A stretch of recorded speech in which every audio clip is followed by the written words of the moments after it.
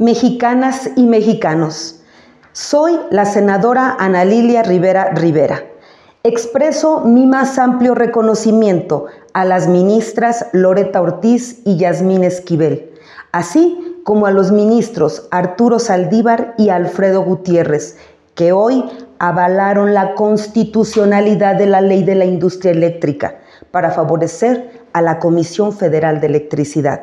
Esto por encima de los productores privados o extranjeros.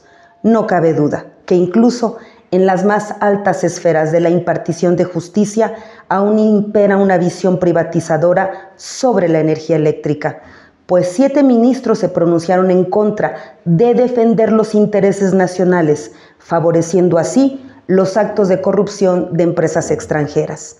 En su conciencia llevarán la traición a nuestra patria.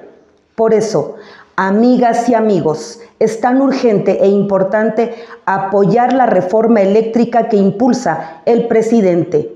Necesitamos garantizar que se privilegie y respete el interés nacional por encima de los intereses privados o comerciales, sobre todo de las empresas extranjeras como Iberdrola.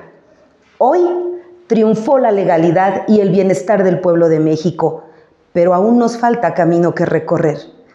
Los invito a exigirle a nuestras diputadas y diputados, sin importar su color o su bandera, se pongan la camiseta de México. Respetuosamente les pedimos a cada uno que voten a favor la reforma eléctrica, que voten a favor de nuestra soberanía energética y que definan qué intereses representan, los del pueblo o los de empresas privadas.